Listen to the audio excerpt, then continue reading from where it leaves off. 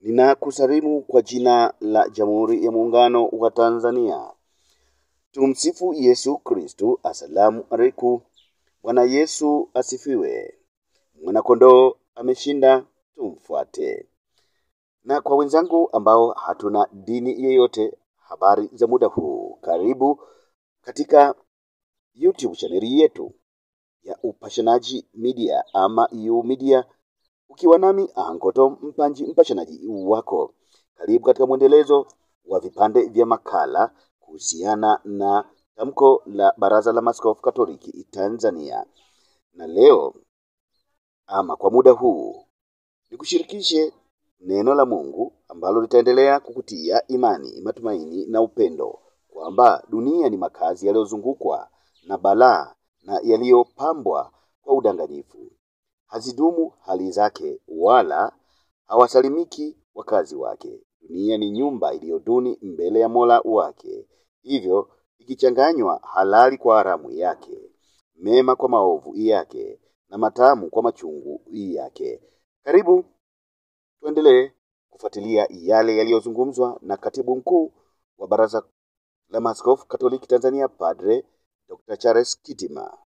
Kwa nini sisi Watanzania tulioweza kuiendesha bandari, maaskofu wanasema kama tumeweza Watanzania wameweza kujiendeshea bandari yao kwa miaka zaidi ya sitini tangu wapate uhuru, kwa nini sasa hivi wanaposema hatutaki walazimishwe wapewe watu wengine?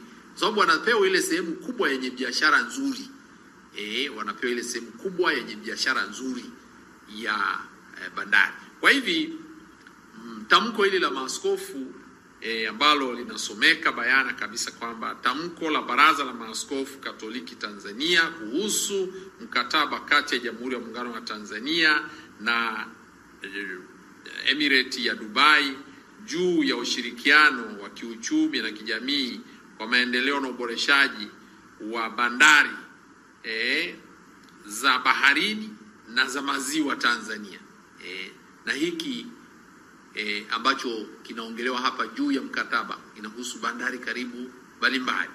Kwa hivi maaskofu wamependa kuungana na Watanzania wanaotaka bandari zao zisiende za Watanzania wanaotaka bandari zao zisiende kwa mwekezaji eh, huyu mmoja.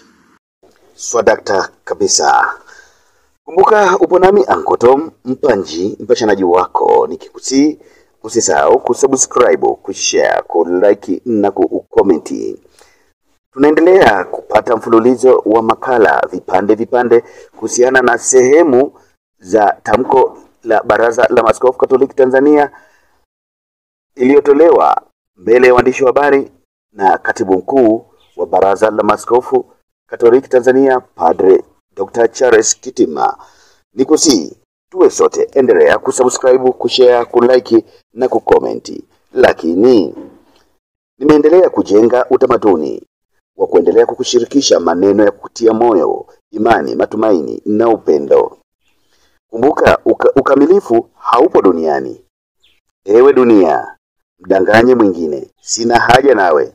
Nimekutaliki mara tatu na sitokurejea tena. Asante. Stay online. Endelea kuwasha data.